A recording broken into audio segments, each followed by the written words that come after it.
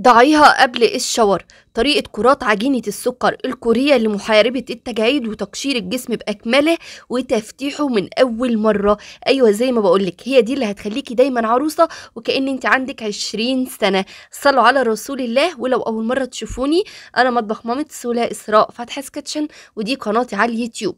في البداية اشتركوا في قناتي وفعلوا زر الجرس علشان يوصل لكم إشعار بكل فيديو جديد. أول حاجة كده هتجيبي طبق وهنحط فيه المكون الأساسي وهو السكر وهنا أنا هستخدم ملعقة كبيرة من السكر على ملعقة كبيرة من جوز الهند. يبقى سكر وجوز هند وهنقلب كويس جدا. سهلة وبسيطة لكل بنوتة وكل ست كبيرة في السن اعملوها هتدعوا لي بعد كده هتجيبي زيت جونسون أو أي زيت مرطب عندك بس تكون ريحته حلوة.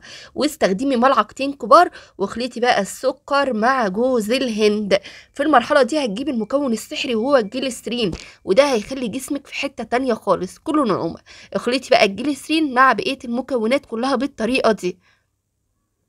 صلوا على رسول الله واكتبوا لي في الكومنتات أنتوا بتشوفوني من أي بلد أو من أي دولة. في المرحلة دي هتجيبي أي معطر جسم عندك أو أي شاور وهتبدأي كده إن انت تستخدمي آه، ملعقتين كبار من الشاور اللي انت بتستخدميه. قلبي بقى كل المكونات مع بعض. في المرحلة دي هتجيبي أي لون عندك وهتستخدمي نقطة واحدة ولو بودر هتستخدمي ربع ملعقة فقط لا غير. قلبي اللون مع بقية المكونات كلها بالطريقة دي. اوعي تاني تشتريها من بره بعد الفيديو ده اعمليها في البيت الجودة أعلى وريحتها فظيعة وبتفضل كده ريحتها على الجسم زائد بقى إن هي بتدي نتيجة غير طبيعية. في المرحلة دي هتجيبي النشا وهنا أنا استخدمت 3 أو 4 ملاعق من النشا. اخلطي بقى النشا مع كل المكونات لمدة خمس دقايق كده لحد ما تديكي عجينة يعني نقدر نقول متماسكة بالشكل ده. بعد كده هتجيبي طبق تاني يكون فيه السكر وهنبدأ بقى ناخد من الطبق الأولاني ونعملها كور كده بالمناسبة الكورة هتقعد معاكي الشاور كامل يعني انت لو عملتي أربع كور هيقعدوا معاكي أربع مرات. هتبدأي كده إن انت تكوريها بالشكل ده تقدري بقى تعملي بالسبع كور وتشيليهم براحتك هي كده كده كل ما بتقعد كل ما بتبقى أحلى وأحلى كمان. طريقة الحفظ فين؟ جوه التلاجة بتلف فيها في ورق زبدة وتشيليها جوه التلاجة. تاخدي الكورة كده وتبدأي إن انت تغلي فيها كويس جدا بحبيبات السكر. يلا اشتركوا في قناتي وفعلوا زر الجرس بسرعة وصلوني للمليون مشترك واوعوا تنسوا تصلوا على رسول الله علشان ناخد الثواب والحسنات سوا. اعملي بقية الكمية كلها بنفس الطريقة. قوريها الكور وبعد كده غلي فيها كويس جدا وغرقيها بحبيبات السكر. بالشكل ده. أصلا ريحتها وأنا بعملها خطيرة. ريحتها حلوة جدا ملمسها كده عاملة زي الإيه النوجة. بجد رهيبة. أنتوا عارفين هي لو ما فيهاش شاور أنا كنت كلتها. بجد رهيبة.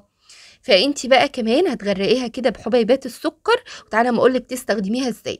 أول ما بتيجي تاخدي شاور بتغير يعني بتدلي جسمك كده بالمية الدافية وتدعكي جسمك كويس جدا وبعد كده بتجيبي الكورة من ديت وتمشيها على جسمك. لازم الجسم يكون مبلول. لازم البشرة أو الوش أو المنطقة اللي هتستخدميها فيها هي تستخدم للجسم بأكمله حتى الوش. بس لازم يكون مبلول بالمية. تبدأي كده إيه بقى؟ إن انت تمشيها بالشكل ده. أنا إيديا أصلا ما كانتش فيها مية ولكن بقى تخيلي لو جسمك فيه مية. هتدوب كده على جسمك وتبدأي بقى كده في حركات دائرية كده تدلكي جسمك بال بالخليط ده أو بالقناع اللي طالع من الكورة بتاعه السكر.